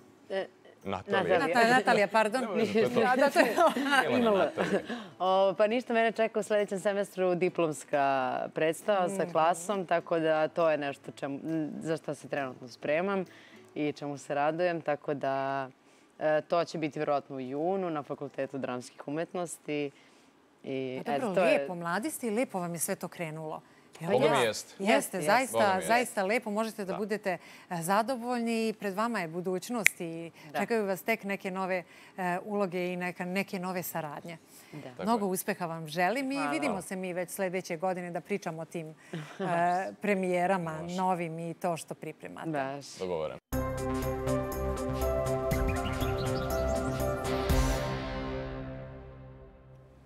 Vraćamo se nazad. Poštovani gledalci, gledate jedan dobar dan. A sada govorimo o poeziji. Poetsko društvo Vid svakog meseca na svojim večerima ugosti po jednog istaknutog umetnika koji kratkim govorom otvori veče i sa prisutnim podeli svoje viđenje poezije. A neretko i nešto odrecituje. Kako sve izgleda, reći će nam osnivač ovog udruženja Nikola Vjetrović. Nikola, izvolite.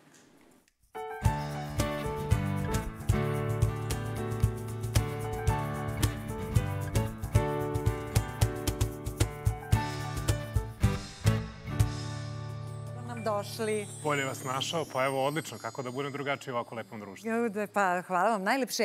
Ajmo odmah da krenemo prekjuče. Kako je bilo na pesničkoj večeri? Znate šta, mi smo i dalje svi pod utiskom, mi smo pod jednim emotivnim šokom. Mhm. Nikad više ljudi, nikad lepša atmosfera. Svi su bili vrlo emotivni, imali smo Mhm. zahvalnice, imali smo poklon, imali smo naravno kao uvek mnogo divne poezije, a, večer nam je obogatila svojim prisustvom i naša mlada glumica Tamara Dragićević sa Mhm. svojom prijateljicom i isto, mislim, veoma perspektivnom pesnikinjom Martom Petričević. I poznate ličnosti vas podržavaju, je li tako? Pa, Dolaze... Da, da, da. I ne da dolaze, nego su svi vrlo entuzijastični i uzbuđeni. A, Kada čuju za nas, a, prosto ne mogu da veruju da se tako nešto i dešava u, u, u našoj zemlji, ali mi smo tu da ih razuverimo. Podrška koju smo primili od svih istaknutih umetnika je za neke se još ni ne zna, neki su bili, kao što je Matija Bećković, kao što je Rale Damjanović, kao što su mnogi drugi, da sad ne nabrajam. Stvarno nam znači, negde nam je vetra u leđa da nastavimo sve brže i bolje. Čini li se, Nikola, da se vraćamo poeziji?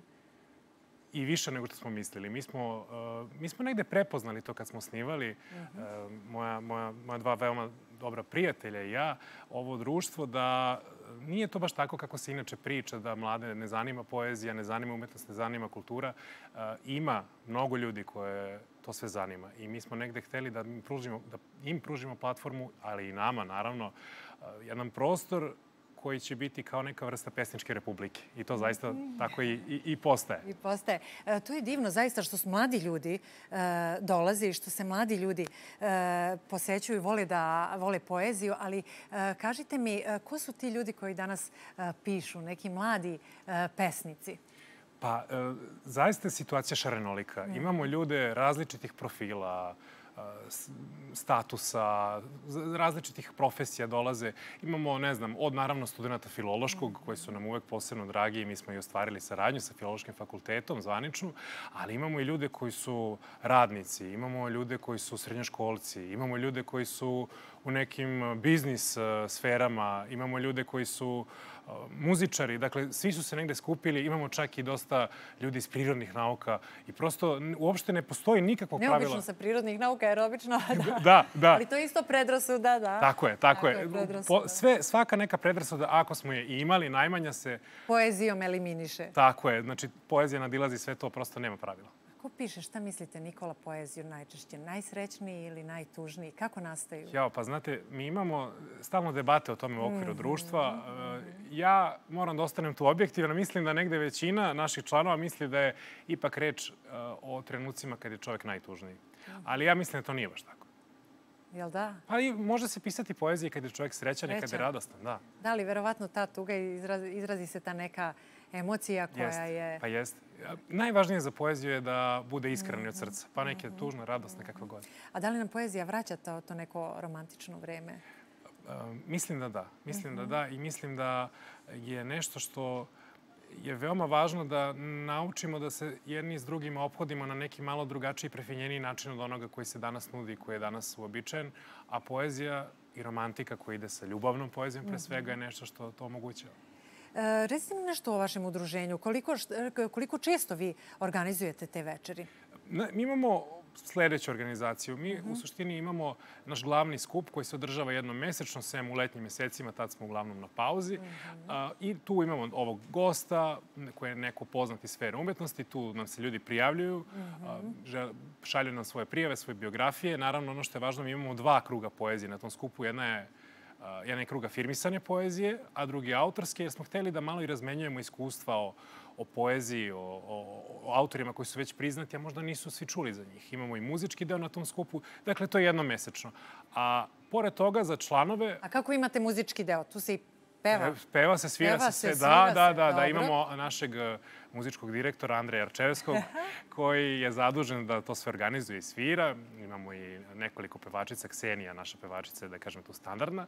Ali pored tog glavnog skupa imamo i e, za članove neke druge aktivnosti. Pravimo sada sajt, ostvarili smo saradnju sa Filološkim fakultetom. Takođe smo pravimo i neke naše mini skupove gde jedni drugima dajemo savete, kriti- kritikujemo. Bože moj, to sve poželjno. I kako se podnosi ta kritika? Da nije baš nešto... Pa, E, Svi su vrlo fini, ali svi su veoma dobri pesnici, pa tu nema toliko nekih oštrih kritika. Oštrih Tako kritika, je, tako tako je, da. Da, a kako je, e, ide ta razmena iskustva? Uopšte to druženje na tim poetskim večerima? Kako izgleda? Pa, e, vrlo je sve spontano i vrlo je sve zanimljivo i vrlo je sve emotivno. A, mi smo, negde se skupio neki, evo sad već imamo negde preko, baš sam sad brojao pre, pre, pred emisiju, negde preko 35 članova koji su se zvanično učlanili u udruženje. I to su negde svi ljudi koji imaju neku nit koja ih povezuje. Svi smo slični donekle u, u jednoj velikoj meri. I onda to sve ide vrlo spontano. To druženje mi ne dirigujemo, to se samo dešava među svima nama. Kao i ljubav. Jel govorite mnogo o ljubavi? Pa govorimo, govorimo. kroz no- poeziju. Da, da, da, go, ali govorimo i o filozofiji, i o religiji, govorimo i o društvu, govorimo i o porodici. Sve teme se tu um, prožimaju i zaista sam bio iznenađen koliko ljudi koji su mnogo mlađi od mene, a ja sam i dalje mislim da sam vrlo mlad, ali ljudi koji su značajno mlađi od mene, koliko oni razmišljaju zapravo i koliko osjećaju, koliko su to rođeni umetnici. A šta ljude tišti danas? Šta, kakav utisak imate? Tako kad razgovarate, pa posle vidite šta je to što, o čemu su zainteresovani da govore? Šta je to što mislite da ljude danas tišti? Mislim da je, pogotovo u našoj sferi, Učlanjivali smo neke prisutne na našem skupu pre, pre dva dana i jedna devojka je napisala uh, razlog zašto se učlanjuje u društvo. Ona želi da izađe iz kulturne depresije. I uh, to me onako negde poprilično zaintrigiralo, jer mislim da je u, u toj jednoj sintagmi uh, Da, dala jednu vrlo dobru je- dijagnozu, a ona je doktorka inače. Tako da možda nije slučajno. Dala jednu vrlo dobru dijagnozu. Mislim da je to ono što ljudi žele i to ono što mi svi želimo, da a, umetnost, u našem slučaju, pre svega poeziju, pre svega književnost, ali mi se kako da kažem, i širimo i sarađujemo i sa drugim uh, umetnicima iz drugih sfera, da se umetnost nekako na velika vrata vrati u naše društvo. Da to ne bude tema za neke marginalne skupove, za neke zaluđenike, kako ljudi uglavnom to posmatraju, nego da poezija, kao što je jednom već radila, bude značajan faktor u našem društvu. Tako je, kada se e, završi to jedno veče, šta ljudi kažu? Ili jer kažu, jao, došao sam tužan, sad mi je nekako lepo, toplo. Ili kažu, jao, sad sam se tek rastuži, rasplakali ste me. Zna, znate kako, uh, to, toliko je to na njih sve ostavilo utiska da je meni čak ponekad i neprijatno da pričam Aha. o tome, ali uh, ne znam, govorili su nam da, da je ovaj skup bio važniji od njihovog diplomiranja. Mm. Neki su rekli da će da pamte ovaj trenutak uh, do kraja života. Neki su plakali samo. Neki su uh, došli onako, vidim, sa puno entuzijazma u očima, pitali kako mogu da pomognu društvu, šta mogu da urade. I, i oni su naša najveća snaga. Mi nismo autokratsko društvo. Mi smo jedno društvo koje funkcioniše saborno i gde svaki član na neki svoj način doprinese tom društvu i, i i vid postoji nezavisno od bilo koga. Vid je nešto više od svih nas. Više od svih nas. Hvala vam najlepše. Želim mnogo uspeha i e, vidimo se na tim vašim večerima. Družimo već, se. Već od januara. Od januara, ko, ko tako. želi da nas zaprati, nek prati naš Instagram i tu će sve saznati. Hvala najlepše. Hvala vama. Najbolje. A naša Aleksandra sada se nalazi u muzeju starih videokompjutera i video igrica. Aleksandra, Kako se snalaziš? Umeš li da igraš te neke stare, ali poznate nama igre? Vidim, već si zauzeta. obnavljaš gradivo. Tako je, Jelena. Tako, Jelena, nalazimo se u muzeju starih e, videoigara i starih kompjutera. Kao što vidite ovde imate, e, imamo razne igrice koje nas eto vraćaju u prošlost. Ja nisam sad sigurna da li znam svaku igru da igram. Uzela sam ovaj Tetris da igram, to mi deluje onako najjednostavnije i najpoznatije. A o tome koje video igrice ovde i koje kompjutere možete da vidite, reći, će mi Milica Đokić, moja sagovornica, sagovornica iz Muzeja razvoja digitalnih tehnologija. Milice, šta sve posetioci mogu da vide u muzeju ovde? Dobar dan. Želim da kažem da je ovo muzej retro računara pre svega i konzola. Želili smo da prikažemo šta se to koristilo pre koji sto računara iz 80. i 90. godina.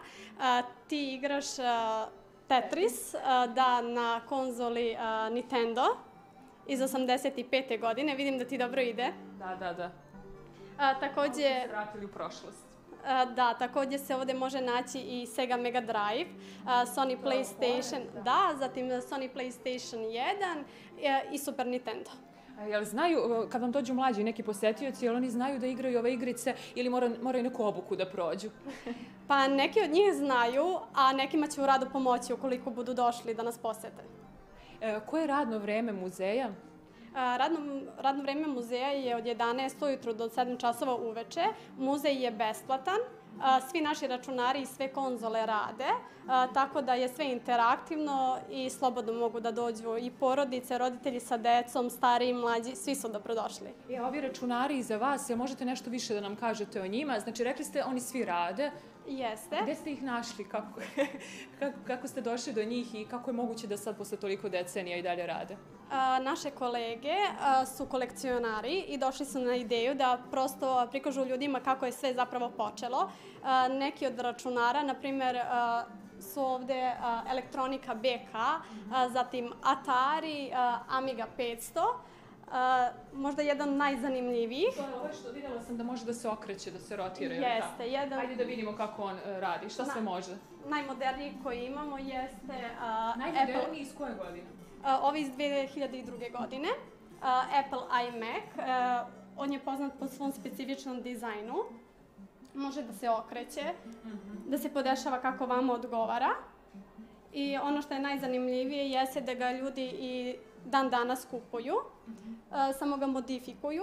E, takođe, zbog specifičnog dizajna, on je dobio razne nadimke, kao što je eye lampa, stolna lampa i tako dalje. E, imate ovde kompjuter Galaksija, on je, on je veoma poznat i u Jugoslaviji je nastao, Boja Antonić ga je e, izgradio. E, kako posetioci, verujem da stariji dođu i kako reaguju kad ga vide? Vrati ih negde u prošlost? Pa da, definitivno je Galaksija jedan od favorita iz 83. godine. Kao što si rekla, kreirao ga je Voja Antonić. A, tako da reakcije su fantastične, iskreno. Jedan je od favorita, tako da je to sasvim dovoljno. E, Da li negde kad dođu mlađi posetioci onako uđu zbunjeno zato što ne znaju kako, kako je to sve nekad izgledalo, dođu pretpostavljam sa starijima, pa kako izgleda taj susret negde sa prošlošću ovde u ovom objektu? A, Stariji su oduševljeni zato što negde mogu da se vrate u prošlost. Često pričaju o svojim prvim računarima, a, dok mlađi a, dođu nekako a, zainteresovani su zapravo za računare i meni je to najbitnije. Nisu samo zainteresovani za konzole kao što sam očekivala, već bi želeli pomalo da nauče nešto o tim starijim računarima. E, hvala vam mnogo na razgovoru. I Da ponovimo, dakle, gledaocima, radno vreme je svaki dan od, jedan, od, Od jed- 11 do 7 uveče. Od 11 do 7 svakog radnog dana, ulaz je besplatan. Evo ja nastavljam da igram, a negde mislim da su praznici pravo vreme da se e, sa svojim bližnjima osvrnete na razvoj, na neku prošlost i da zajedno to dođete ovde i zabavite se. Toliko za ovo uključenje. Lep predlog Aleksandra, hvala ti najlepše. A sada je vreme za još malo muzike. Tu je naš jedan dobar bend. Jelena Pajić, jeste čekali? Čekali ste, Čekali, ste, dočekali. ček- čekali, dočekali, izvolite.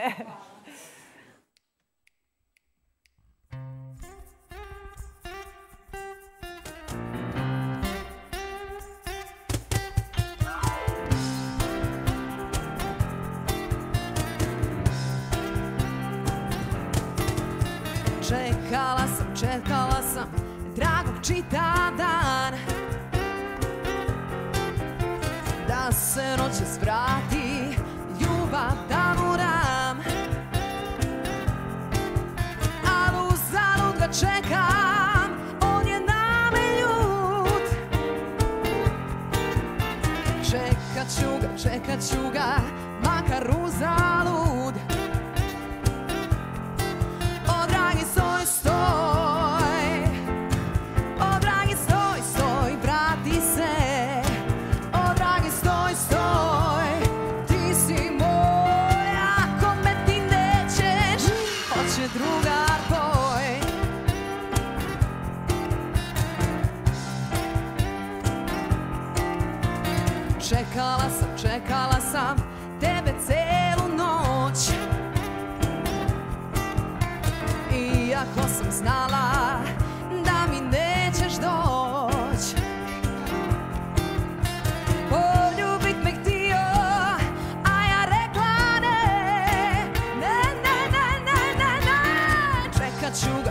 ga, čekat ću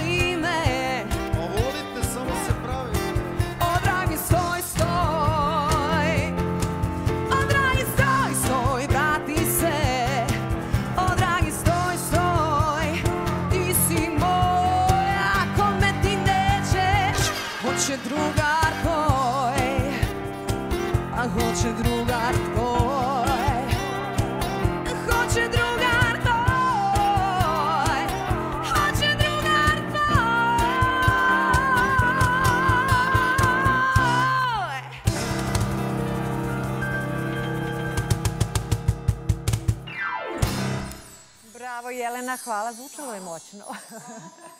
A mi, poštovani gledaoci, nastavljamo dalje i to sa vestima iz sporta. Dolazi nam naš Stefan Bendić.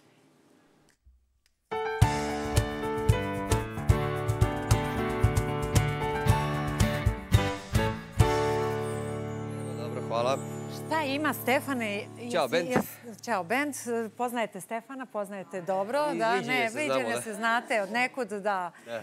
Reci mi kako Po si dobrom ti... zvuku i Po dobrom emociji, da. zvuku, emociji. Energiji. Često si sedeo ovde, nismo te dugo videli. Evo da te sada pitam. Tu sam, tu sam, da. Kada ćeš ponovo ovde da sede? pa uskoro, verovatno. da, dobro. Stefane, šta ima novo? Hoćemo sa Jokićem Ima, počinjemo, hoćemo, da. Ima svašta novo i tek će da bude novo i onako ovih dana ovaj, važne stvari se događaju, pre svega za naš klubski futbol i košarkaški, ovaj, i, i, i klubsku košarku. A, Jokić, eto, počet ćemo sa njim, pošto je on onako najbolji. U ovom trenutku tenisa nema, pa ne možemo mnogo Ne o može, Novaku da, na Đokoviću. Osim možda onim sitnicama koje je ovaj, e, Filip Klinović skoro izne, izneo u jednom gostovanju, da je neverovatan i da je lud koliko je dobar ovaj, i da ima neke svoje posebne navike i da je jednostavno poseban, jedinstveni, definitivno najbolje što svi znamo a, za Novaka. E, takav je sličan i, i Nikola Jokić. Kad kažemo to pod navodnicima lud, to mislimo na njegovu fizičku spremu, na to kako dugo traje karijera i tako dalje. Jokić Nemo mi da si ti mislio to Da. u pozitivnom smislu. Ovaj, Jokić e, nije onaj LeBron James, nema te mišiće, ali ima mozak, ima dovoljno snage i dovoljno pripremljen da bude najbolji na svetu i najbolji u NBA ligi. Sinoć se nije mnogo umarao, igrao je 25 minuta, što nije e, e, svojstveno njemu e, kada gledamo ovu sezonu u kojoj igra m, možda i najbolje u životu, ima najveći prosek ubačenih poena, na- blizu je triple-double ovaj, uopšte u proseku u celoj sezoni. Juče su neki drugi momci poput Marija i Portera bili nosioci igre Denvera. S druge strane, evo ga Dončić koji je postigao 38 poena, bio fantastičan i- protiv Denver Nuggetsa, ali je Denver lako rešio tu utakmicu na kraju, pobedio sa 26 razlike, 130 104, e, ubedljiva pobeda e, Jokićevog tima koji, eto, i, i kada ne igra, opet razigruje ostale sa igrače. Dobar, da. mislim, kada ne igra. Dobio dao je 8 poena, imao je e, 9 asistencija i 7 skokova, to uopšte nije loš skor, to je odlično. Imati 9 asistencija u bilo kom meču, to je fantastično, ali nekako nas je on navikao da je stalno triple-double, pa onda nam tih 9, 8, 7 ne, ne zvuči nešto specijalno mnogo, iako je to ovaj, odličan, odličan rezultat za njega i za njegove nagece. To je što se tiče NBA lige. Šta imamo Ovaj, još? Imamo još i Euroligu danas. Igraće i Crvena zvezda i Partizan. A, nekako nam jači Partizana se nadaju da će Zvezda dobro da izmori Real i da pobedi i da će onako malo da ih deprimira, s obzirom da su oni ove godine ubedljivo najbolji, imaju samo jedan poraz do sada, što prvi su na tabeli Euroligi, bit će jako teško Crvenoj zvezdi, a onda već za tri dana i Partizanu, koji je već u Španiji igrao večeras protiv Valencije. Dakle, prvo Crvena zvezda od e, 19 sati e, će dočekati Real iz Madrida. Dobro je što je Zvezda prošlom kolu kući, e, kod kuće pobedila Albu i to onako relativno lako, rezultatski i što se vraćaju i što sve bolje igraju i ovaj momak Gudritis e, i Gedritis i, ovaj, i, i, i, ne, i Nemanja Nedović i, i, i Mitrović je na visini, Nejpir se budi, tako da za Zvezdine košarkaše ovo može biti vrlo interesantno uz punu halu, igrati protiv šampiona Evrope i tima koji je ove sezone najbolji zašto da ne i pobediti. Umela je to Zvezda, ovaj, ne prošle sezone, ali ona je tamo 2022. Kako da i. Zvezda dobila u Beogradu uh, uh, Real. Partizan s druge strane igra u, u uh, Valenciji i u odličnoj je seriji rezultata. U osam pobjeda za redom, sve funkcioniše savršeno. Um, oporavio se i Kaminski, putovo, putuje sa ekipom, tako da to će biti vrlo interesantno vidjeti kako će, koliko će on ulogu dobiti. Um, pojačanja Partizana su ove godine odlična, ne sva, ali recimo taj Kaminski se čeka da, da, da proradi, ali Pidži Dožir uh, igra fantastično, um, centarski par je odličan, uh, sa spoljnih linija sve su bolji i Panter koji se vrati iz povrede i Naneli koji je na nekom svom onom proseku, Lede igra sve sigurnije, tako da ovaj, Partizan bi večeras mogao da iznenadi ajmo reći iznenadi. Jel Valenciju, da? iako Partizan a, m, nas je navikao na neke velike pobjede i u gostovanjima, Tako je, tako. pa i protiv Reala prošle godine. Mhm. Dva puta u Madridu u onom top 8 a, a, seriji, tako da može svašta da se zanimljivo dogodi večeras Da, bit će u uzbudljivo Euroligi. večeras, Da, tako je, da, tako biće, je, biće. tako je, Biće uzbudljivo sutra. Biće i sutra. Da. A sutra imamo? Sutra derbi, futbol. Tako. Igraju Partizan i Zvezda. Gledat ćemo ovde u našem studiju pokrivanju detalje sa prošlogodišnjeg derbija. 170. Sutra se igra 171. derbi. Nisu iste okolnosti kao prošle godine kad su igrali crveno-beli i crno-beli. Am, bilo je 0-0 prošle godine, ali am, Partizan bi trebalo da na ovom derbiju juri pobedu, s obzirom da igra nešto lošije u poslednjih mesec dana, ne nešto lošije, nego mnogo lošije posle onih 13 pobjeda za redom, uh, nekoliko iznenađujućih rezultata. Prošlom kolu nisu uspeli da pobede, predprošlom su izgubili, pa su imali onaj poraz od TSC, a s druge strane Zvezda je podigla formu i vraća se nazad, sad je prva trenutno na tabeli Superligi, biće vrlo interesantno. Ono što je loše za igrače Partizana jeste to što navijači Partizana sa juga bojkutuju derbi i neće doći da podrže klub ovaj, iz svojih razloga, tako da ovaj, e, biće to zanimljivo vidjeti kako će se, s kojim, s kojim elanom i trudom će igrati igrači Partizana sutra na derbiju. Ovaj, Zvezda definitivno kao prva dolazi na, na gostujući teren gde nije pobedila go- dugo godina, tako da biće zanimljivo. Biće zanimljivo. Da, dosta sportskih e, dešavanja. Jest. Zanimljivo. Jel imaš još nešto? Jesi još nešto Imamo, imamo, imamo ovaj, e, jedan derbi iz Mhm. e, isto derbi, doduše ovaj nije gradski, ali jedan od najvećih u Portugali. Vidjet ćemo dva gola e, sa derbija koji je odigran u Lisabonu. Sporting i Porto su igrali. Porto igra odlično ove sezone u ovaj, e, futbolski. Ovde je udario u lice jednog protivničkog futbolera. Nije mu to prvi put, verovatno mu jedno deset Argentini. Argentinci su osvojili e, svetsko prvenstvo pre tačno godinu dana. U Buenos Airesu je e, otkriven jedan mural veliki, ogroman, vidjet ćemo i njega sada. Ovaj, u Buenos Airesu, evo ga, Messi, naravno najzaslužniji za e, titulu Argentine od e, prošle zime. I e, m, oduševljeni su Argentinci ovim muralom. Slavili su, Slavili, ovaj, da, da. slavili su na ulicama. Nije ih bilo baš mnogo, ali došli su, svako ko je prolazio je stao da napravi neki selfie ili neku fotografiju e, sa ovim e, velikim muralom koji je urađen na cigli. Inače, ovako baš sjajno izgleda, ali je zaista mural, zaista je ofarbana cigla i ovaj, nije, nije poster, nego je mural. Ovaj, na, na, Deluje kao poster, ali nije. Delo je zaista Da. fantastično, ali je Da. urađeno ono, profi, Da. baš profi. ovaj, eto, to je Evo, to. Se ljudi tiče- fotografišu, da. Da, što Vidimo. se tiče ovaj, još Mesija, on će igrati u februaru utakmicu eh, na stadionu na kojem je ponikao, New York Old Boysi, za koje su igrali i, i, i Di Maria i Batistuta i neki mnogi veliki argentinski futboleri, ali naravno Messi se vraća eh, kući na mesto gde je, gde je u muzeju kluba njegov mali dres i njegova prva članska karta. Tako da, to je to. To je to, zanimljivo, Da, lepo. zanimljivo će biti. E, Kaži mi, Stefane, pitam te sad kao sportskog novinara, kako ti ocenjuješ ovu e, godinu 2023. kada je sport u pitanju i naši sportisti i, njihove, njiho, njihova osvajanja? Pa uvek su teške godine koje su predolimpijske Mhm. i ne, nekako ne očekujemo od naših sportista da imaju najveću i najbolju formu u toj godini, nego već u narednoj, kada su olimpijske igre. A opet, naši sportisti su nas obradovali mnoštvo puta, tako da su bili sjajni ovaj, i ove godine i pamtit ćemo je po nekim velikim rezultatima Tako je, tako a, je, naših sigurno. najboljih sportista. Stefane, mnogo ti hvala na svim Evo, ovim vestima. Lepo si nam sve to e, pripremio. Sve najbolje ti želim. Vidimo se ponovo. A e, hvala vam, poštovani gledalci, što ste i danas bili uz jedan dobar dan. Želimo vam da lepo i u miru provedete ostatak dana i vidimo se sutra. A za kraj, jedan dobar bend i numera Bube.